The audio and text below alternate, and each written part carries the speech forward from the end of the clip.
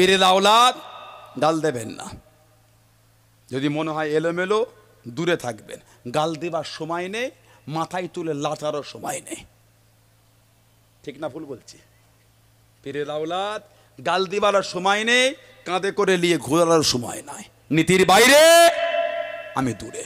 দেখা হলো, আসসালামু আলাইকুম ওয়ালাইকুম আসসালাম। ভালো আছেন, ভালো আছে, দোয়া করবেন, দোয়া করি। আল্লাহ তৌফিদ আবার দেখা হবে। আসসালামু আলাইকুম, ওয়ালাইকুম আসসালাম। যে আওলাদটা নীতিতে মজবুত, ওই আওলাদটাকে বুকে চড়িয়ে দেখবেন, এটা হলো মুরিদ। আল্লাহ বলেন? আল্লাহ পাক আমাদের এইভাবে চলা তৌফিক দেন, বলেন আমিন। জলে বলেন আমিন। একটা করে গোল জামা করবেন। নাউজবেল আমি বলিনি ফারা পাঞ্জাবিতে নামা যাবে না, ভুল ব্যাখ্যা করবেন না। মুরিদ, একটা গোল জামা। এই ঘন্টিওয়ালা আর এই নেট। এই নেট ঘন্টি নেসপো শাক। হাঁটু আর পায়ের গাঁটে মাঝখানে নেসপো শাক। একটা গোল জামা করবেন। জুম্মার দিন নামাজে যাচ্ছেন ওক্তের নামাজে যাচ্ছেন গোল জামা পরে যাবেন। কলার ছাড়া কলার ছাড়া। জলসাই বসছেন গোল জামা পরে বসেন। ফুরফুরা শরীফে যাচ্ছেন গোল জামা পরে যান। আপনাদের মধ্যে আদমির শরীফে যাওয়ার লোক কেউ আছে? কথা বলে না। আদমি শরীফে যাওয়ার লোক কেউ আছেন? কি বলে? তুমি ফুরফুরিয়া হো।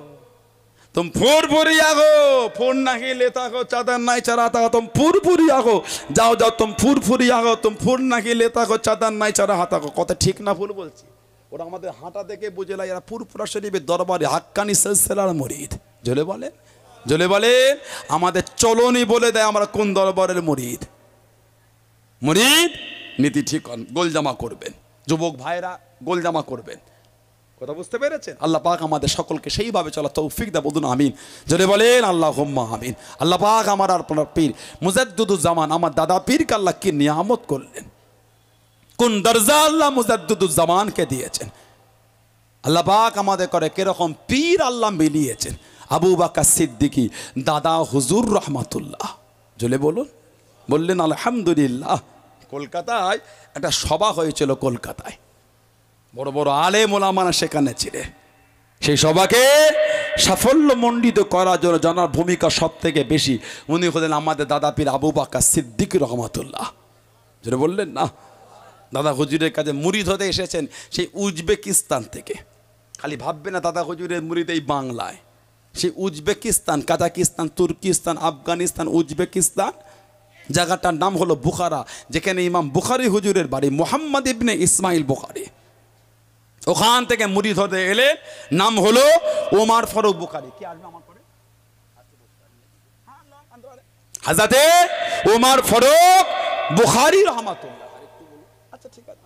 পাঁচ সাত মিনিট বলি? আচ্ছা। হাজাতে ওমার ফারুক বুখারি রহমাতুল্লাহ। সেই বুখারায় বাড়ি। উনি মুরিদ ছিলেন, নকশাবান্দা তরিকার পীর ইন্তেকাল হয়ে গেলেন। কার কাজে বায়াত হব চিন্তিত হয়ে গেলেন। হাজার তোমার ফোন ঘুমিয়ে গেলেন ও যুবকেরাম ও আমার মনবী বাবদারাম আল্লাহ নরি হাজাতে ওমার ফনু বুখারি রহমাতুল্লাহ বাড়িতে ঘুমিয়ে গেলেন। গভীর রাত্রিনে স্বপ্নের মধ্যে কে যেন দাঁড়িয়ে দিলেন খবের মধ্যে শুনিয়ে দিলেন।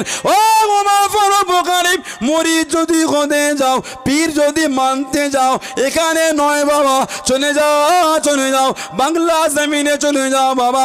কলকাতা নিউ মার্কেটের টিকাটনি মসজিদে চলে যাও বাবা আল্লাহ রনি হাজরাতে মৌলানা আবু বাক্কা সিদ্দিকি, রহমাতুল্লাহর কালে মরি তুমি হয়ে যাও বাবা বায়া তুমি হয়ে যাও বাবা আল্লাহ রনি হাজরাতে ওমার ফোনো বুখারি রহমাতুল্লাহ উজবেকিস্তানে বুখারা থেকে, কলকাতা নিউ মার্কেটের টিকাটরি মসজিদে পৌঁছে গে আল্লাহ রনি আমার আপনার দাদা বীর রহমাতুল্লাহর গানে মরিদ হয়ে গেলেন, জোরে বলুন, সুবহান আর একটু জোরে বলুন সুবহান স্বপ্নের মধ্যে কে বলে দিচ্ছে, মুরিদ হলে ওখানে যাও। নিউ মার্কেটের টিকাটলি মসজিদে আবু বাক্কা সিদ্দিকে। খবে বলছেন, খবে। কে বললেন, পাঞ্জাবে শুয়ে আছেন মুজাদ্দেদিয়া তরিকার ইমাম, আরবির এক হাজার শতাব্দীর মুজাদ্দেদ। হাজাতে মুজাদ্দেদ আলফে সানি আহমদ ফারুক ইসের হেন্দি রহমাতুল্লাহ। বাদশাহ আকবর লিখেছিল, দিনে এলাহি হুজুর হুজুরের খলিফাদের নিয়ে রুকে দাঁড়িয়েছিলেন হুজুরকে খলিফা সহ জেলের মধ্যে বন্দি করে দিয়েছিলেন উনি হজে যেতে পারেননি। উমার হাজাতে মুজাদ্দিদ আলফে সানি হজে যেতে পারেন কানতেন আল্লাহ! নসিবি কি কাবা শরীফে জিয়ারাতটা হবে না? আল্লাহ পাকের হুকুম? হুজুরের দরবারে আল্লাহ পাক কাবা শরীফটাকে হাজির করে দিয়েছিলেন। যদি বলা গেল না সুবহান আল্লাহ গভীর রাত যখন হতো জেলের দরওয়াজার সামনে দাঁড়াতেন, আল্লাহ পাকের হুকুম জেলের দরওয়াজার তালাগুলো অটোমেটিক খুলে যেত। খলিফা সাথী দিল্লি জেলের বাইরে গিয়ে জঙ্গলে ইবাদত করতেন। রাত শেষ হবার আগে আবার দরওয়াজা টপকে দাঁড়াতেন, আল্লাহ পাকের হুকুম জেলের তালাগুলো সব অটোমেটিক আবার লেগে যেত, জোরে বলে। বলুন, আলহামদুলিল্লাহ। হাজাতে মুজাদ্দেদ আলফে সানি আহমদ ফারুক সেরহেন্দি রহমাতুল্লাহ। জানার খলিফা ছিলেন নাম হাজাতে আদম বিন নুরি রহমাতুল্লাহ। হাজাতে আদম বিন নুরি রহমাতুল্লাহ। স্বপ্নে উনি বলে দিলেন, এই উমার ফরুক বুখারি মুড়ি যদি হতে যাও, বাংলায় চলে যাও, আবু বাক্কা সিদ্দিকির কাছে গিয়ে বায়াত হয়ে যাও। জোরে বলেন। দাদা হুজুরের কাছে মুরিদ হলেন, ইরাকের সৌদাগার ইরাকের সৌদাগার আল্লাহ রুহুল আমির রহমান দাদা হুজুরের জীবনী কিতাব লিখেছেন। আরও অনেক বড় বড় বিজ্ঞরা লিখেছেন। ইরাকে সৌদাগার ফ্যামিলি নিয়ে বারো হয়েছেন সফরে। রাস্তায় কাফেলাটা লুট হয়ে গেল। সব ছন্ন ছড়া হয়ে গেল। তার দুজন ছেলেকে মদিনার নবাবি শরীফে ভর্তি করে দিলেন হিফজুল লাইনে। আর ইরাকে সৌদাগার যাযাবারের মতন ঘুরছে যাযাবার কোনো জায়গা নাই। কোথায় মাথা গুজবে জায়গা নাই। ঘুরে ঘুরে ঘুরে ঘুরে আইদ আমেদাবাদে এসেছেন। ওনার দুটো ছেলে মদিনা শরীফ, কান্তের নবীর দরবারে গিয়ে গিয়ে। এক তারিখে রাতে স্বপ্ন দেখছে নবী পাককে এক ছেলে। এই, তোমার আব্বাকে খবর দাও। তোমার আব্বা জানো, বাংলায় গিয়ে আবু বাক্কা সিদ্দিকের কাছে যায়। তার কাছে গিয়ে দোয়া চায়। যাও, তোমার আব্বাকে বলে দাও। এরাকে সৌদাগার ওনার ছেলে বাপকে চিঠি লিখলে, কিছু খাজুর হাদু- হাদিয়া, আর একটা মদিনা শরীফে পাখা। এইটা দিয়ে ওনার আব্বাকে পাঠিয়ে দিলেন। ইরাকে সৌদাগার চিঠি পেলে ফুরফুরাসে দাদা হুজুরের সঙ্গে দেখা করার জন্য কলকাতায় আসলেন, খুঁজে খুঁজে নিউ মার্কেটের টিকাটলি মসজিদ। দাদা হুজুর তখন ফুরফুরা দাদা হুজুরের খলিফা ছিলেন হাজাতে প্রফেসর আব্দুল খালেক রহমাতুল্লাহ, যিনি কলকাতা প্রেসিডেন্সি কলেজের আরবি অধ্যক্ষ ছিলেন। প্রফেসর আব্দুল খালেক রহমাতুল্লাহ। বিভিন্ন ভাষা জানতেন। আসেন আমাদের জানা মৌলানা সেবগাতুল্লাহ সাহেব এসেছেন, আলোচনা করবেন। দীর্ঘদিন ফুরপুরা শরীফে ছিলেন। আমার বড় চাঁদান হুজুরের সফর সঙ্গে, দীর্ঘদিন বড় চাঁদান হুজুরের সঙ্গে বিভিন্ন জায়গায় গিয়েছেন। আমার ভাই এসেছেন, তিনি আলোচনা করবেন। তার পরে আপনাদের ভালোবাসা, আপনাদের জান, আপনাদের অন্তর, আপনাদের সব কিছু আমার আব্বা হুজুর কিবলা, কি বলেন?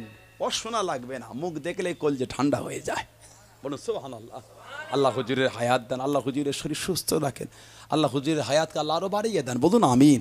ফুরফুরাসে সকল হুজুরকে বলে আল্লাহ হায়াত দেন, আমার আম্মা দেন আল্লাহ হায়াত দেন, আল্লাহ আমাদের সকলের হায়াত দেন, আল্লাহ আমাদের মুরব্বীদেরও হায়াত দেন। বলুন, আমিন। সকলে বলেন আল্লাহ আমিন। এই সাতাশে রমজান হুজুর উমরা থেকে ফিরলেন। এই সাতাশে রমজান। কথা বললেন? অনেক বাড়ি থেকে গিয়ে- গিয়েছিলেন, এই ফিল্মে একটু অসুস্থ, দোয়া করেন, আল্লাহ যেন হুজুরের শরীরটা সুস্থ রাখেন, সকলে বলেন, আমিন। প্রফেসর আব্দুল খালেক রহমাতুল্লাহ ওনার সাথে আরবিতে কথা বললেন। কিছুদিন ওনাকে রেখে দাদা হুজুর গেলেন কলকাতায় মুজাদ্দুদুল জামানের কাছে মরিদ হলেন। দাদা হুজুর ওনার জন্য দোয়া করে দিলেন। জোরে বলুন সুবাহান আল্লাহ আল্লাহর রসুল স্বপ্নে ওনার ছেলেকে বলেছেন, বাংলায় আবু বাক্কা সিদ্দিকির কাছে তোমার আব্বাকে যেতে বলো। সে দাদা হুজুর আমাদের পীর। নীতি ঠিক করেন। আল্লাহ আমাদের কবুল করেন, আল্লাহ আমাদের শুনে, বলে, বেশি বেশি আমলে তৌফিক দান করে। বলুন আমিন। যদি বলেন আমিন। ইতি করলাম। আল্লাহ পাক আবার কোনোদিন মৌকা দিন আলোচনা হবে। আমার কথায়, আমার ভাষায় আলোচনায় কষ্ট পেলেন, দুঃখ পেলেন, উটাউটি করবেন না। সবাই বসে ভাইয়ের মুখ থেকে কিছু শুনে তার মধ্যেই হুজুরকে বেলা এসে যাবেন। একবার আমাকে সালাম দেন। ওয়ালাইকুম আসসালাম ও রহমতুল্লাহ বরকত। আসসালামু আলাইকুম ও রহমতুল্লাহ বরকত। একবার ভালোবাসায়, মহাব্বতে দরুদ শরীফ। আল্লাহ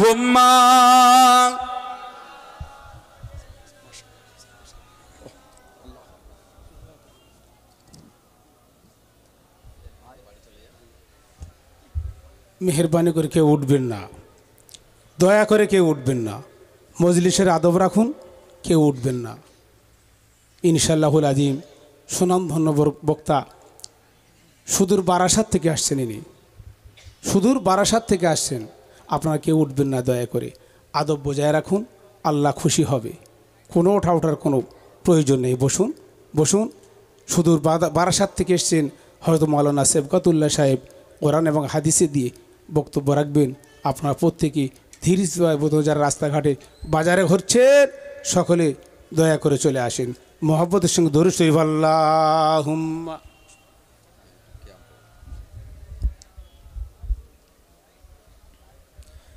তাকবির নারায় তকবীর। নারায় তকবীর। পীরজাদা হজরত মৌলানা মোহতারাম সানাউল্লাহ সিদ্দিকী ভাইজান, সিলসিলায় হক মুজাদ্দিদে জামান, মুজাদ্দিদে জামানে সিলসিলা। নারায় তকবীর। আসুন আমরা সবাই দাঁড়িয়ে রসুলের শানে তাজিমান একটু সালাতু সালাম পড়িয়া নবী, সালামুন আলাইকা। ইয়া রসুল, সালামুন আলাইকা। ইয়া হাবিব, সালামুন আলাইকা। সলাওয়াতুল্লাহ আলাইকা। জিবরাইল দিলেন যে আওয়াজ। খুলে দাও আসমানের দুয়ার। এসেছেন নবীদের সরদার, করিতে আল্লাহর দিদার। নবী, সালামুন আলাইকা। রাসূল, সালামুন আলাইকা। ইয়া হাবিব, সালামুন আলাইকা। সালাওয়াত